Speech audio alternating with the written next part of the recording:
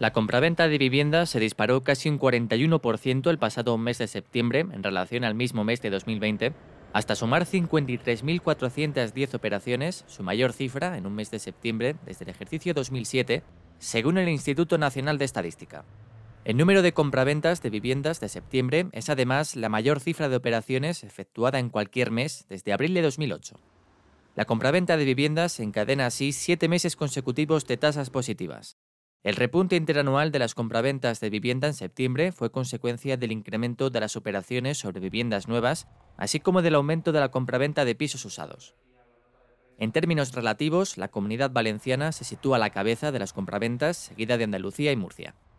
Incremento experimentado también en el número de fincas transmitidas en los registros de la propiedad. Por compraventa se transmitieron un 29% más de fincas que un año antes, la mayoría urbanas. Todas las comunidades autónomas elevaron su número de compraventas en septiembre en términos interanuales, excepto Extremadura.